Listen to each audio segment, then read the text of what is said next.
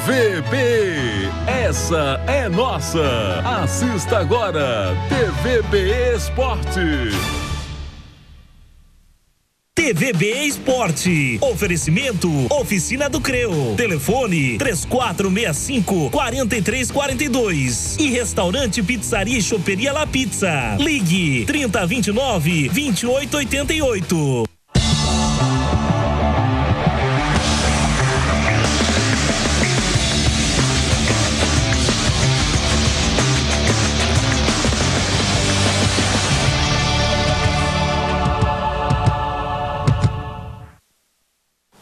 Alô, você amigo do esporte, muito bom dia, seja bem-vindo a essa edição de segunda-feira, né? Segunda-feira é aquele dia assim que a volta a trabalhar, depois no final de semana, mas tem que ter ânimo, vontade e hoje muitos gols para você, né? as finais dos campeonatos. Daqui a pouco começa o Brasileirão. Inclusive o Joinville Esporte Clube também jogou ontem, um time modificado, mas o João Marinho vai falar sobre isso. Mas antes da gente mostrar os gols para você, falar de esporte, vamos chamar a nossa musa. Ela que está aqui toda quebrada hoje, foi participar daquele competição de soldado de ferro, mas ela foi. Firme e forte, é uma competição super legal. Mas ela vai falar com a gente daqui a pouquinho sobre isso. Mas antes, vamos completar. Bom dia. Seja bem-vinda a essa edição de segunda-feira, Letícia. Bom dia, Luiz. Bom dia para vocês de casa. Pois é, eu participei. E eu estou muito orgulhosa porque eu e o Guilherme, né, na, na minha dupla, nós ficamos no 19 lugar e tinham 59 duplas. Ou seja, nós ficamos na frente de 40 duplas, então eu estou muito feliz. Que legal. Eu, eu, eu, eu, acho que o, importante era comple- com- é completar a prova. Isso né? que é o difícil. É, Você conseguiu. Consegui, graças ao Guilherme também, porque, né, daquela bambeada lá, muito morro, muito obstáculo, muita lama, muitos hematomas, mas tô aqui, tô feliz. Vou trazer minha medalha essa semana e a gente vai mostrar a matéria, como foi essa edição, logo vai ter a próxima também. Mas vamos começar falando do Campeonato Paranaense, vamos começar falando de futebol. O Paraná venceu o Atlético ontem por 1 a 0. Caprichar para botar para grande área, passou de cabeça o Ney meio estranho. Marcos Guilherme mandou pro gol. Marcos. Quando chegou, cruzou na direção do André Lima. Marcos! Tira de qualquer maneira o Ney. Chegou, parou,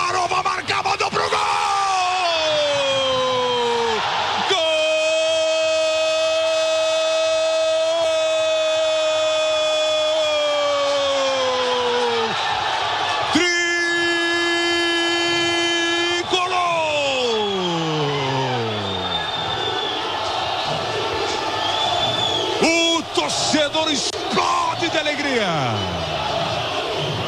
A jogada foi no bate-rebate. Olha a frieza, olha a categoria. Olha o Natson. Roubou, chegou, tocou Lúcio Flávio para mandar pro gol. Bola cruzada do outro lado e é na direção do Robson. Ganhou, chegou, driblou, para escapuliu. Fez o toque de novo, chute pro gol. A defesa do Everton. Autorizado. Se posicionou. Partiu na trave! Impressionante! Walter contra Marcos. Partiu Walter, mandou pro gol! Se concentra, autorizado Valber. Partiu camisa 10, mandou pro gol no cantinho. E aí, um rodopio. Atenção. Se o Hernani fizer, o Atlético passa. Se o Marcos defender, continua na briga. Atenção! Quem vai passar? Hernani mandou pro gol Atlético na final! É, e tem tabela também pra gente conferir, pode soltar? Então tá aí. A final do Campeonato Paraense de 2016 vai ser Atlético. Apesar da vitória do Paraná, foi para os pênaltis e perdeu. Fazer o quê, né? Então, agora a finalíssima é Atlet- Atletiba, né? O, o tradicional Atletiba. E pelo Gauchão, o Juventude venceu o Grêmio por 3 a 1 Saiu o Maicon procurando espaço, colocou na entrada da área para Luan, voltou no Wallace feito!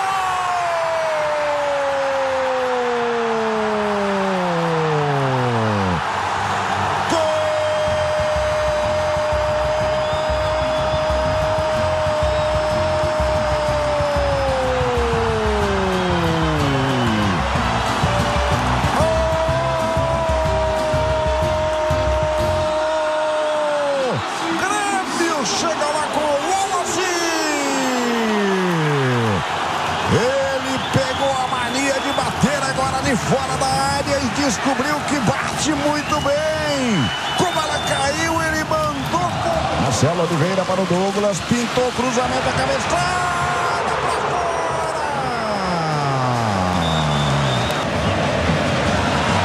Metida na frente, Juliano bateu.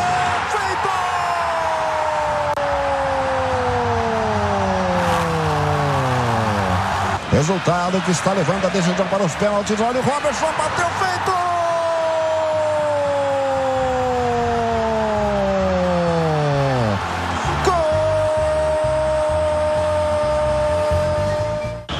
Aí ele, Juliano, lá dentro da área, faz a proteção. Maicon colocou no Juliano.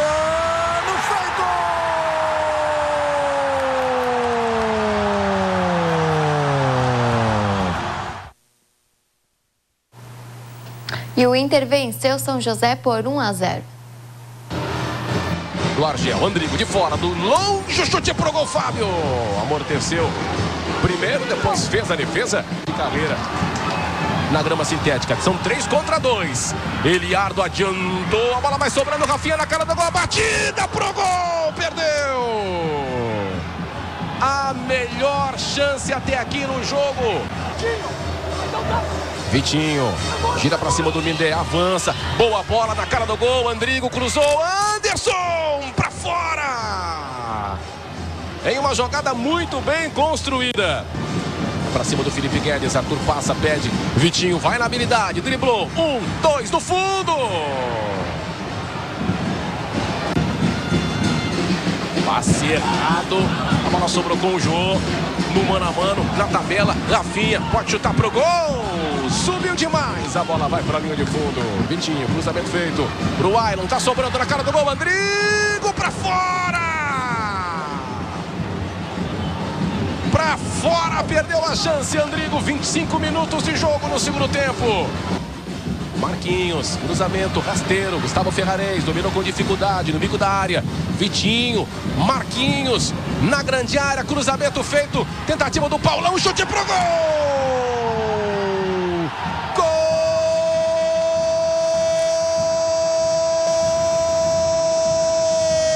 Gol do Internacional! Hernando! E a jogada da dupla de zaga, trocando passes na área do time adversário.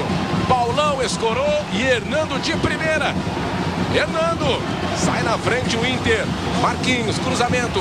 Paulão de cabeça. Hernando. E tem tabela do Gauchão pra gente conferir também. Então tá aí, já também definido o Gauchão 2016, é o Campeonato Gaúcho, né, a sua finalíssima entre Internacional e Juventude. Agora interessante, eu vou, eu vou até chamar o Marinho, ele já está aqui, ele vai comentar sobre isso. Pode soltar a vinheta do Marinho, vamos falar com ele. Quem está no ponto?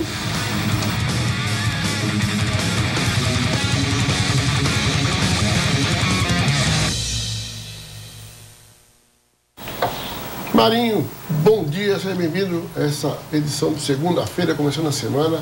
Agora, uma coisa, não sei se você concorda comigo, a pouco a gente vai falar sobre o Joinville também, mas as coisas estão mudando. Os grandes clubes estão grandes só no nome, porque os pequenos que se organizarem vão dar um banho aí, porque vão, daqui a pouco vamos falar do Audax, São Paulo, do São Corinthians também, mas enfim, as coisas estão mudando, né? Verdade. Bom dia, Luiz. Bom dia, Letícia. Bom dia, você que está ligado. Muitas mudanças, inclusive nos campeonatos estaduais.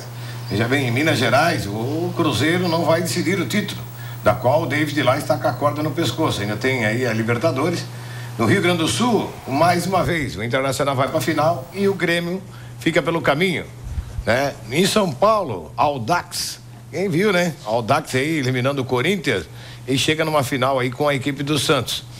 E Rio Grande do Sul, o, a equipe do Juventude. Aí, realmente, única coisa que deu é, positivo e deu a lógica foi no Rio de Janeiro, né? No Rio de Janeiro deu a lógica. Não vai ter nem tricolor e muito menos rubro-negro. Deu preto e branco. Vai disputar aí o Vasco contra a equipe eh, do Botafogo. Acredito eu que o Vasco, mais uma vez, vai ser vice-campeão. Mas é as mudanças, né? Realmente, como o Luiz falou, é, clubes pequenos, não chamado pequenos, né? O América Mineiro disputa a Série B do Campeonato Brasileiro, vai decidir aí é, com o Atlético é, Mineiro. E há a possibilidade de realmente termos títulos aí de chamados times pequenos. Ano passado, quem desbancou aí né, foi o Operário de Ponta Grossa, quando conquistou o título paranaense ganhando aí dos chamados clubes grandes. O Paraná, Atlético eh, Paranaense, o próprio Coritiba, foi campeão. Esse ano, muitos estados aí realmente esperando aí um time pequeno ser campeão. Claro que, por exemplo, São Paulo, quem não é torce para o Santos, vai torcer para o Aldax, com certeza. O Santos que vem em série de disputa de títulos no Campeonato Paulista. É o sexto consecutivo. Então tá aí realmente a grande oportunidade do Aldax. Aliás, houve uma reunião em São Paulo, da qual poderia ser o título disputado no Morumbi. Mais uma conversa com as duas equipes. O primeiro será o primeiro jogo do, do São Paulo, a primeira final, será em Osasco. Aldax recebe o Santos. Aí sim, ou a decisão será na Vila Belmiro. Então são os clubes aí que apareceram aí e aparecem também grandes jogadores seria bom que o Joinville ficasse de olho, não só no, no Juventude, Rio Grande do Sul, no Aldax, em São Paulo, né? O América Mineiro também que vem forte aí para a Série B do Campeonato é, Brasileiro. Então, tá aí os campeonatos estaduais. No, na Bahia deu a lógica. Deu Bahia e Vitória, o Bavi vai ser será disputado aí o título. Então, tá aí, eu acho que os campeonatos chegando aí já praticamente todos decididos aí vão é, fazer as suas finais. E aqui em Joinville, na Arena, o Jack empatou com o Brusque em 1 a 1 Vamos conferir esse empate? Nesse domingo aconteceu a última rodada do segundo turno do Campeonato Catarinense de 2016 e trouxe a Joinville a equipe do Brusque, que veio enfrentar o tricolor diante de um pouco mais de 3 mil pessoas que compareceram na arena. E ver o Joinville se apresentar com uma equipe totalmente modificada para que Emerson Maria pudesse observar alguns jogadores que poderão compor o grupo que disputará o Brasileirão da Série B. E quem deu o primeiro susto na partida foi o Brusque, que marcou um gol logo no início do jogo, confirmado pelo árbitro e invalidado pela bandeira. O Brusque ainda comemorava a vantagem quando o árbitro, depois de conversar com o auxiliar, e voltou atrás e anulou o gol em lance polêmico, impedimento do ataque brusquense. Mas na sequência, Adriano sofreu pênalti claro e o juiz assinalou penalidade máxima em favor do Jack, cobrado por Pereira, que abriu o placar em favor do tricolor.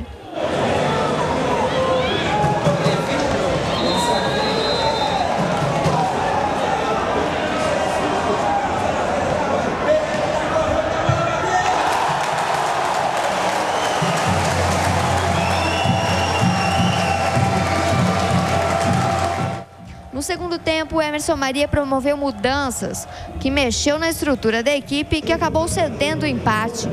De cabeça, Cleiton marcou o gol de empate. As duas equipes tiveram oportunidades de gols e até mandaram bola na trave. Mas no final, mesmo o Brusque sendo melhor e pressionando o Joinville, o placar final terminou em 1 a 1. Agora o Joinville se prepara para a próxima partida pela Copa do Brasil, na próxima quarta-feira, diante do Comercial de Mato Grosso do Sul. É, e também pelo Campeonato Catarinense, o Figueirense venceu o Metropolitano ontem por 2 a 0. Lance individual do Luiz Ricardo. Olha o Gustavo Hermel, pintou na cara do gol! Na trave! E salvou o zagueiro. Olha o Gabriel Esteves. Elton tira Hermel pro gol! Gol!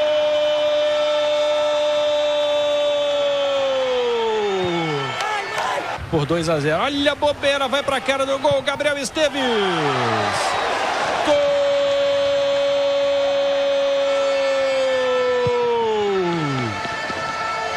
Figueirense. E Criciúma venceu a Chapecoense por 3 a 2. Perna direita, bola perigosa, cabeçada pro gol! Gol!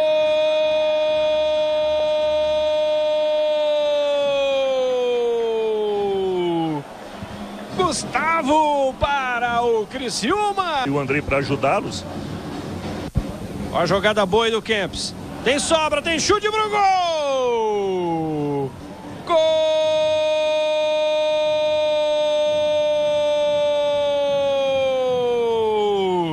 A bola parada perigosa lá para a área. Toque de cabeça do Kempes. Gol!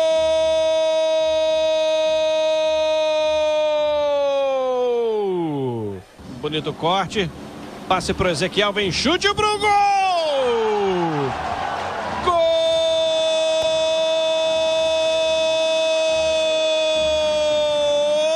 Golaço do Ezequiel! Ezequiel, Gustavo escorou, vem Elvis, Gustavo na cara do gol! Gol!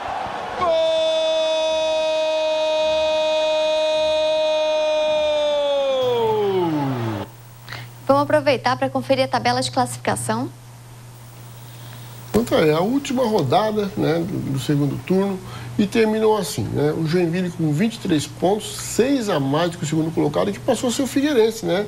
A Chapecoense despencou, então o segundo Figueirense com 17 pontos, em terceiro o Criciúma com 15, em seguida pela Chapecoense com 14 pontos. Depois o Metropolitano com 14, em sexto o Guarani foi até bem no segundo turno, mas não conseguiu pontos suficientes para se manter na primeira divisão, né? Fez ali é, 14 pontos.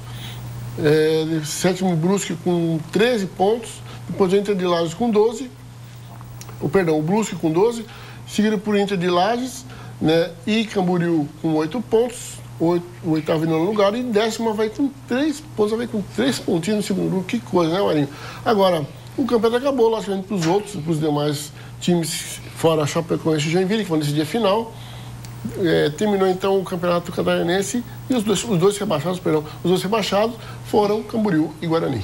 É, e falando do Guarani ainda, o técnico é, esse que deveria vir para o Joinville faz tempo, não deveria nem ter saído, ficado como auxiliar técnico, Sérgio Ramírez, né? Mas confirmou a sua permanência no Guarani. O Guarani tem planos de tocar as categorias de base, da qual tem um, vai, vai para a segunda divisão, mas o Sérgio Ramírez foi confirmado e a permanência dele no Guarani poderia ser aqui auxiliar técnico do Alisson Maria até tocar as categorias de base, da qual ele tocou por muito tempo. Mas está confirmado, Sérgio Ramírez permanece no Guarani. E a decepção é, no campeonato, claro, no segundo turno não podia ser diferente, o Havaí fez três pontos, né? Olha só. Oito derrotas, somente uma vitória, nenhum empate. Oito derrotas. Foi a decepção do campeonato é, catarinense, até pelo fato de estar tá disputando a Série B do Campeonato Brasileiro.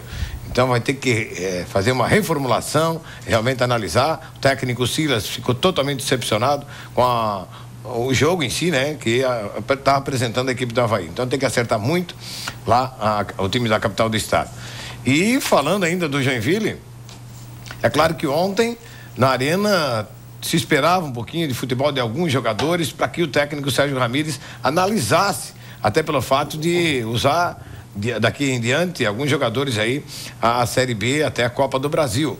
Mas infelizmente poucos jogadores se destacaram no Joinville. O empate contra o Brusque é o normal. O Brusque, claro, é, vem aí é, para a Série D do Campeonato Brasileiro, já conquistou a sua vaga. E, claro, veio com o time titular. O Joinville é, tentou mostrar alguns Alguns jogadores ali tentaram mostrar algum futebol, mas bem abaixo. O Ítalo, barbaridade. Eu gostei do Adriano, né? E do Felipe Alves, que se. movimentação lá na frente. Mas foi muito pouco pelo que realmente as duas equipes apresentaram em campo. Agora vamos aguardar. Concentração total na Copa do Brasil. É, na quarta-feira já enfrenta o comercial. O Joinville empatou 1 a 1 lá. Precisa aqui realmente ganhar de 1 a 0 1 a 1 vai para os pênaltis. Ou 2 a 2 classifica aí a equipe do comercial. Todo cuidado é pouco. Joinville que precisa passar para a próxima fase.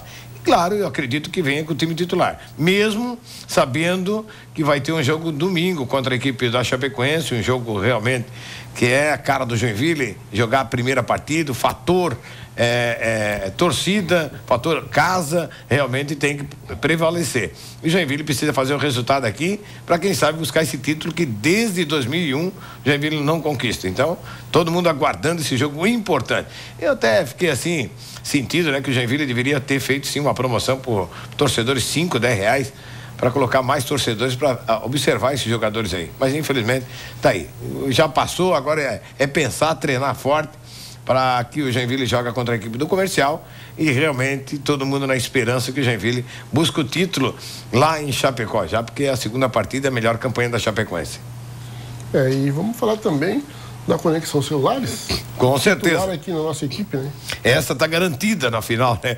Tá aí, ó, você que não passou numa das lojas da Conexão Celulares, são vários tipos de rádios, tem celulares, várias marcas, tem película, tem acessórios para o seu celular, tem acessórios aí, componentes eletrônicos.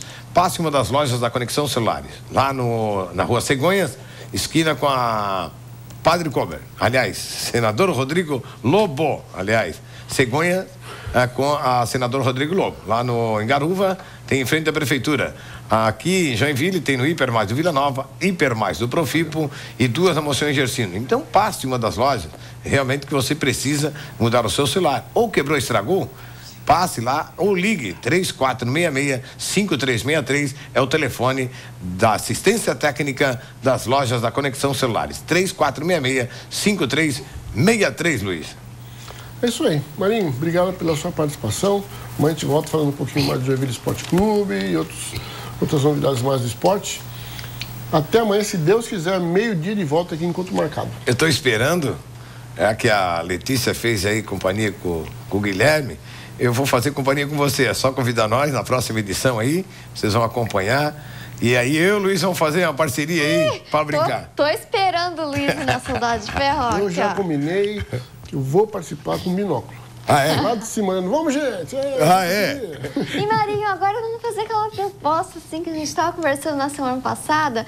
Se o Joinville for campeão catarinense. Ah, catarinense, que eu ia te pegar, já ia dizer assim, se o Joinville for campeão do campeonato que está disputando, eu ia dizer da Copa do Brasil, né?